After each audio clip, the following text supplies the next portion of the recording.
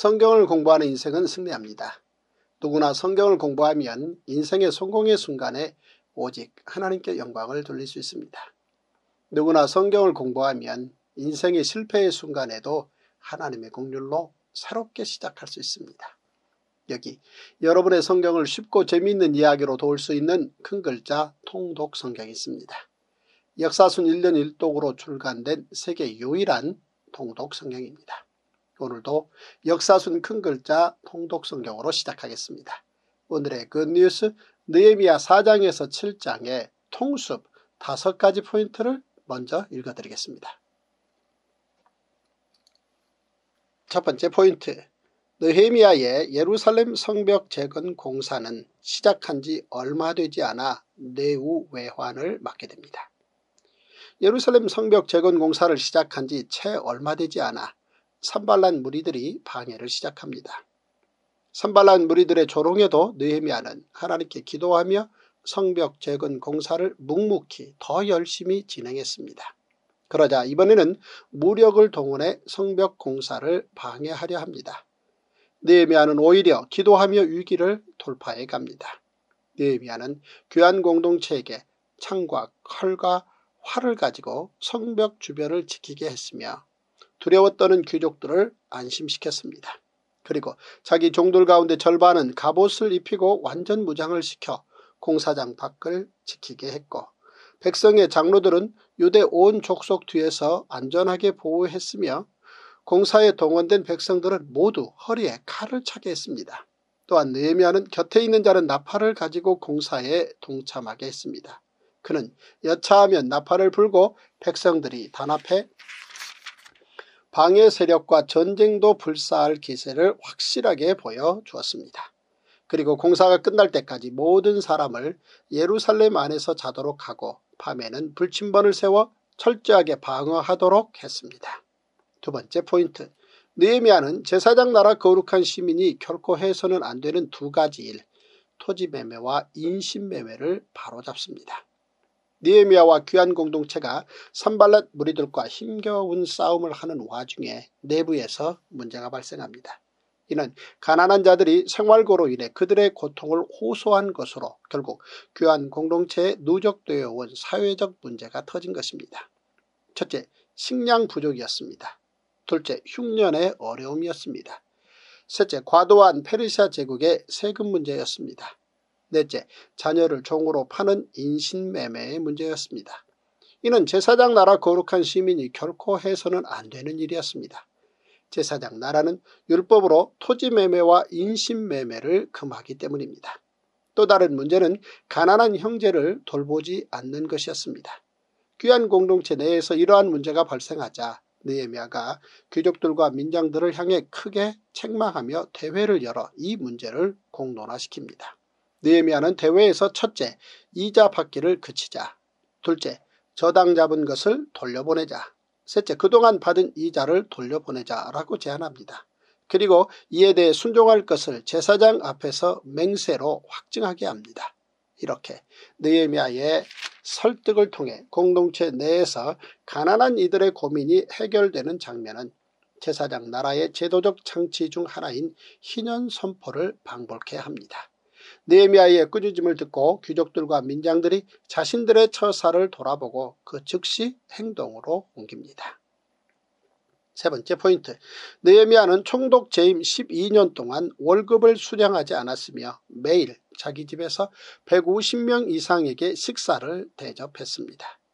느헤미야의 뛰어난 리더십에는 헌신이 있었습니다. 첫째 느헤미야는 총독의 녹을 받지 않았습니다. 둘째 이전 총독들처럼 백성들을 수탈하거나 압제하지 않았습니다. 셋째 부정축제를 하지 않았고 오히려 자신의 개인 인력까지 동원하여 성벽 재건에 힘을 쏟았습니다.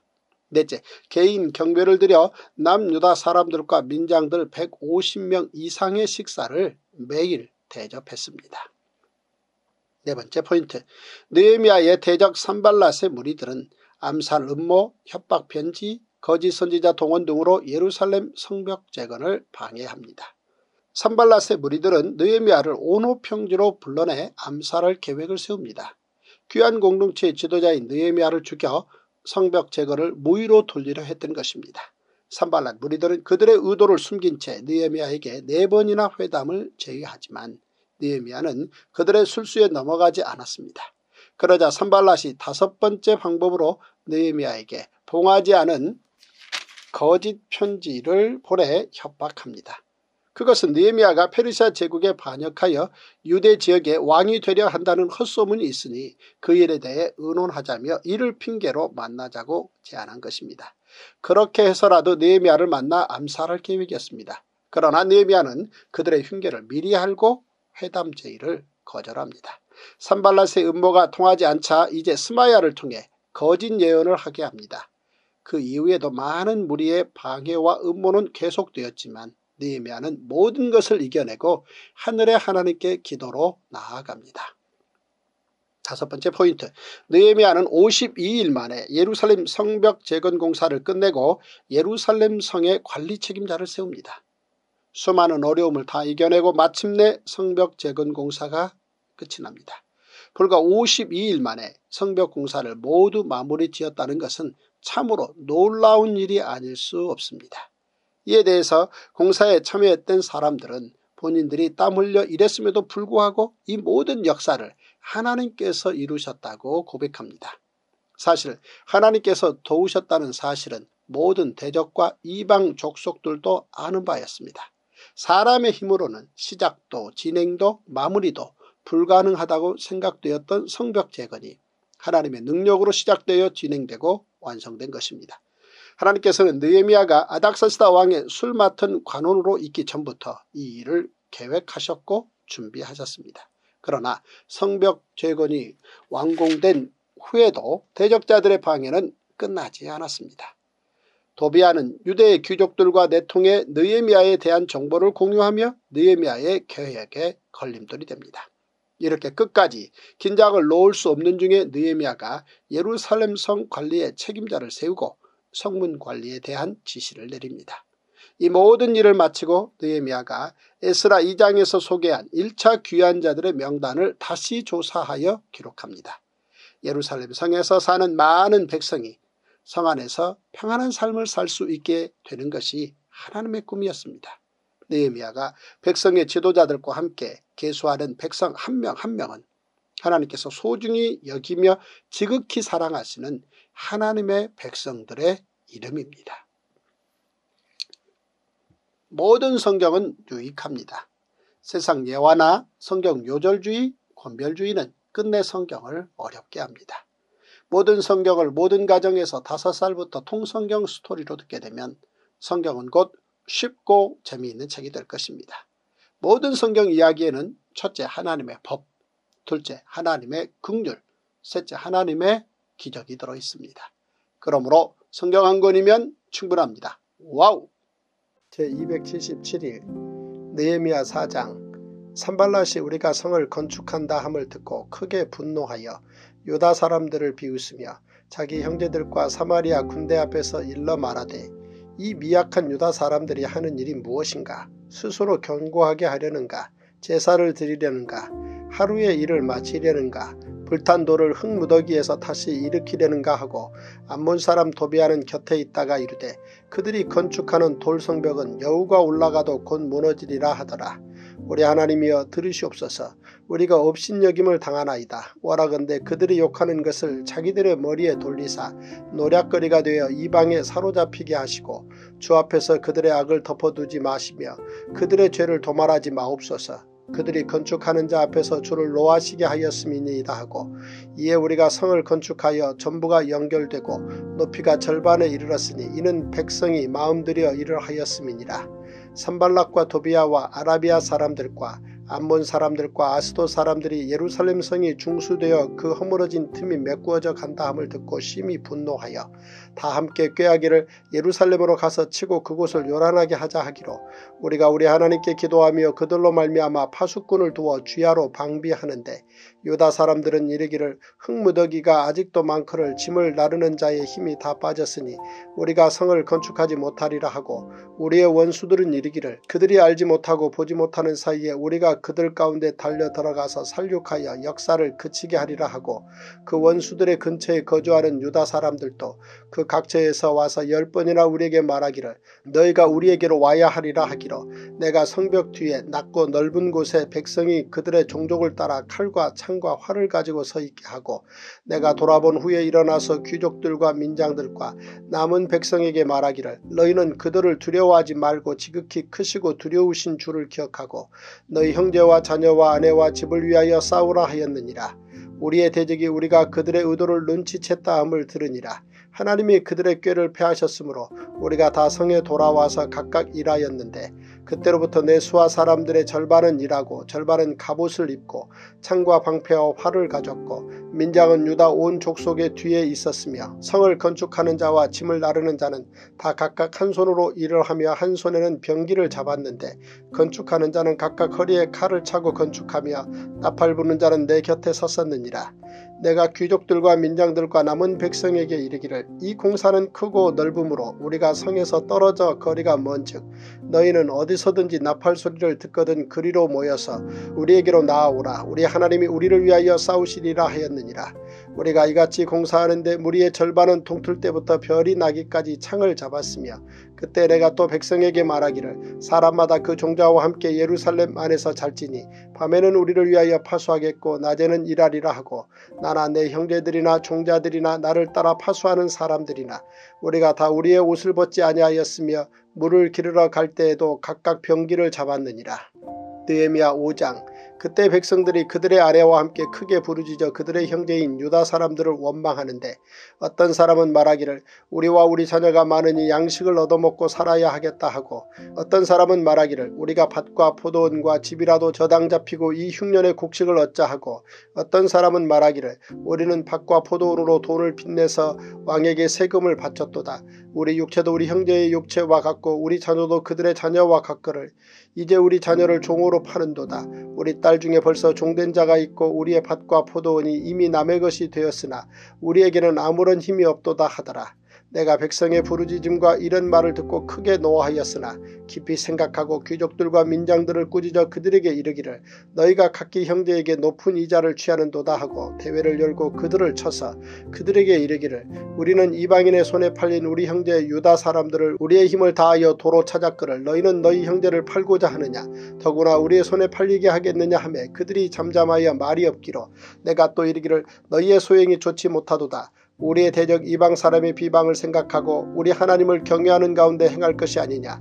나와 내 형제와 종자들도 역시 돈과 양식을 백성에게 꾸어 주었거니와 우리가 그 이자 받기를 그치자. 그런즉 너희는 그들에게 오늘이라도 그들의 밭과 포도원과 감나무과 집이며 너희가 꾸어준 돈이나 양식이나 새 포도주나 기름의 백분의 1을 돌려보내라 하였더니 그들이 말하기를 우리가 당신의 말씀대로 행하여 돌려보내고 그들에게서 아무것도 요구하지 아니하리이다 하기로 내가 제사장들을 불러 그들에게 그 말대로 행하겠다고 맹세하게 하고 내가 옷자락을 털며 이르기를 이 말대로 행하지 아니하는 자는 모두 하나님이 또한 이와 같이 그 집과 산업에서 털어버리실지니 그는 곧 이렇게 털려서 빈손이 될지로다 하며 회중이 다 아멘하고 여호와를 찬송하고 백성들이 그 말한 대로 행하였느니라.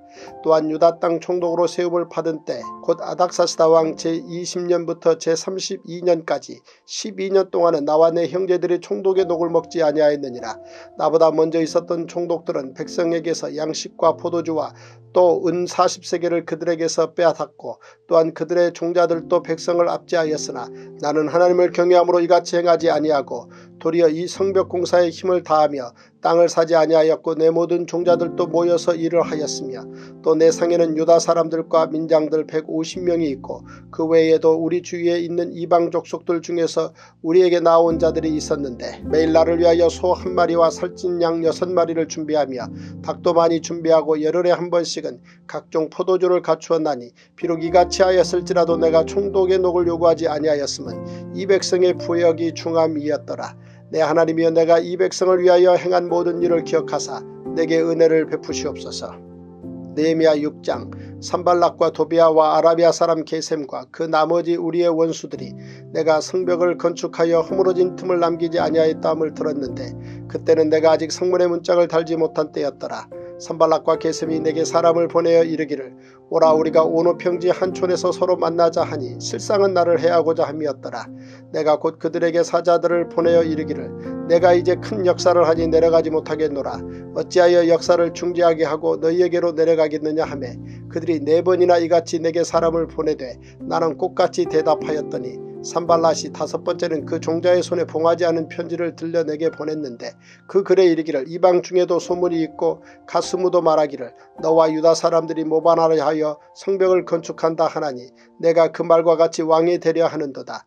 또 내가 선지자를 세워 예루살렘에서 너를 들어 선전하기를 유다의 왕이 있다 하게 하였으니 지금 이 말이 왕에게 들릴지라 그런즉 너는 이제 오라 함께 의논하자 하였기로 내가 사람을 보내어 그에게 이르기를 내가 말한 바 이런 일은 없는 일이요. 내 마음에서 지어낸 것이라 하였나니 이는 그들이 다 우리를 두렵게 하고자 하여 말하기를 그들의 손이 피곤하여 역사를 중지하고 이루지 못하리라 함이라. 이제 내 손을 힘있게 없소서 하였노라. 이후에 무에다벨의 손자 들라야의 아들 스마야가 두문불출하기로 내가 그 집에 가니 그가 이르기를 그들이 너를 죽이러 올 터이니 우리가 하나님의 전으로 가서 외소 안에 머물고 그 문을 닫자 저들이 반드시 밤에 와서 너를 죽이리라 하기로 내가 이르기를 나 같은 자가 어찌 도망하며 나 같은 몸이면 누가 외소에 들어가서 생명을 보존하겠느냐? 나는 들어가지 않겠노라 하고 깨달은즉 그는 하나님께서 보내신 바가 아니라 도비아와 산발렛에게 뇌물을 받고 내게 이런 예언을 함이라. 그들이 뇌물을 준 까닭은 나를 두렵게 하고 이렇게 함 함으로 범죄하게 하고 악한 말을 지어 나를 비방하려 함이었느니라. 내 하나님이여 도비아와 산발락과 여선지 노아대아와 그 남은 선지자들 곧 나를 두렵게 하고자 한 자들의 소행을 기억하옵소서 하였노라. 성병 역사가 52일 만인 엘룰롤 25일에 끝남에 우리의 모든 대적과 주위에 있는 이방 족속들이 이를 듣고 다 두려워하여 크게 낙담하였으니 그들이 우리 하나님께서 이 역사를 이루신 것을 알미니라. 또한 그때 유다의 귀족들이 여러 번 도비아에게 편지하였고 도비아의 편지도 그들에게 이르렀으니 도비아는 아라의 아들 스가냐의 사유가 되었고 도비아의 아들 여호하난도 베레가의 아들 무술람의 딸을 아내로 맞이하였으므로 유다에서 그와 동맹한 자가 많음이라. 그들이 도비아의 선행을 내 앞에 말하고 또 내 말도 그에게 전하매 도비아가 내게 편지하여 나를 두렵게 하고자 하였느니라. 느헤미야 7장 성벽이 건축됨에 문짝을 달고 문지기와 노래하는 자들과 레위 사람들을 세운 후에 내 아우 하나니와 영문에 관원 하나냐가 함께 예루살렘을 다스리게 하였는데 하나냐는 충성스러운 사람이여 하나님을 경외함이 무리 중에서 뛰어난 자라. 내가 그들에게 이르기를 해가 높이 뜨기 전에는 예루살렘 성문을 열지 말고 아직 파수할 때에 곧 문을 닫고 빗장을 지르며 또 예루살렘 주민이 각각 자기가 지키는 곳에서 파수하되 자기 집 맞은편을 지키게 하라 하였노니 그 성읍은 광대하고 그 주민은 적으며 가옥은 미처 건축하지 못하였음이니라.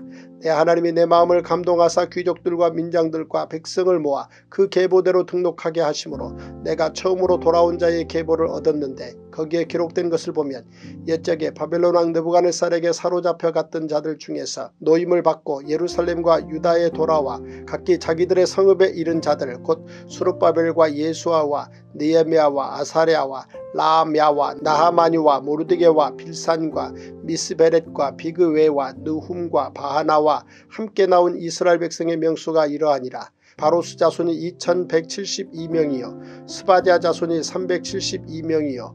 아라 자손이 652명이요. 바한 모압 자손 곧 예수아와 요압 자손이 2818명이요 엘람 자손이 1254명이요 사뚜 자손이 845명이요 삭계 자손이 760명이요 빈누이 자손이 648명이요 부배 자손이 628명이요 아스갓 자손이 2322명이요 아도니감 자손이 667명이요 비그웨 자손이 2067명이요 아딘 자손이 655명이요 아델 자손 곧 히스기야 자손이 98명이요 하숨 자손이 328명이요 베세 자손이 324명이요 하립 자손이 112명이요 기부원 사람이 95명이요 베들레헴과 느도바 사람이 188명이요 아나도 사람이 128명이요 벳 아스마웨 사람이 42명이요. 기란 여아림과 그비라와 부에르 사람이 743명이요. 라마와 게바 사람이 621명이요. 믹마스 사람이 122명이요. 베델과 아이 사람이 123명이요. 기타 느보 사람이 52명이요. 기타 엘람 자손이 1254명이요. 하림 자손이 320명이요. 여리고 자손이 345명이요 로드와 하딕과 오노 자손이 721명이요. 스나 자손이 3930명이었느니라. 제사장들은 예수와의 집 여다야 자손이 973명이요. 인멜 자손이 1052명이요. 바술 자손이 1247명이요. 하림 자손이 1017명이었느니라. 레위 사람들은 호드야 자손 곧 예수아와 감멜 자손이 74명이요 노래하는 자들은 아삽 자손이 148명이요 문지기들은 살룸 자손과 아델 자손과 달문 자손과 악굽 자손과 하디다 자손과 소베 자손이 모두 138명이었느니라. 느디님 사람들은 시야 자손과 하수바 자손과 답바옷 자손과 게로수 자손과 시야 자손과 바돈 자손과 느바나 자손과 하가바 자손과 살메 자손과 하난 자손과 깃델 자손과 가할 자손과 르아야 자손과 르신 자손과 느고다 자손과 카삼 자손과 우사 자손과 바세아 자손과 베세 자손과 무우님 자손과 너비 스심 자손과 박북 자손과 하그바 자손과 할훌 자손과 바슬리 자손과 무히다 자손과 하르사 자손과 바르고스 자손과 시스라 자손과 데마 자손과 느시아 자손과 하디바 자손이었느니라. 솔로몬의 신하의 자손은 소대 자손과 소베렛 자손과 부리다 자손과 야알라 자손과 다르곤 자손과 깃델 자손과 스바댜 자손과 핫딜 자손과 보게렛 하스바임 자손과 아몬 자손이니 모든 느디님 사람과 솔로몬의 신하의 자손이 392명이었느니라. 델멜라와 델하르사와 그룹과 앗돈과 임멜로부터 올라온 자가 있으나 그들의 종족이나 계보가 이스라엘에 속하였는지는 증거할 수 없으니 그들은 들라야 자손과 도비야 자손과 느고다 자손이라 모두가 642명이요 제사장 중에는 호바야 자손과 학고스 자손과 바르실레 자손이니 바르실레는 길르앗 사람 바르실레의 딸 중에 하나로 아내를 삼고 바르실레의 이름으로 불린 자라 이 사람들은 계보 중에서 자기 이름을 찾아도 찾지 못하였으므로 그들을 부정하게 여겨 제사장의 직분을 행하지 못하게 하고 총독이 그들에게 명령하여 우림과 둠밈을 가진 제사장이 일어나기 전에는 지성물을 먹지 말라 하였느니라. 온 회중의 합계는 42,360명이요. 그 외에 노비가 7,337명이요. 그들에게 노래하는 남녀가 245명이 있었고 말이 736마리요. 노새가 245마리요. 낙타가 435마리요.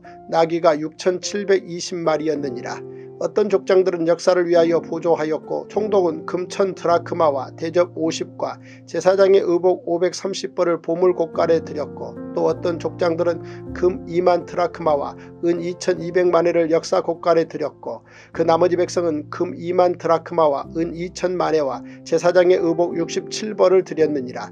이와 같이 제사장들과 레위 사람들과 문지기들과 노래하는 자들과 백성 몇 명과 느디님 사람들과 온 이스라엘 자손이 다 자기들의 성읍에 거주하였느니라.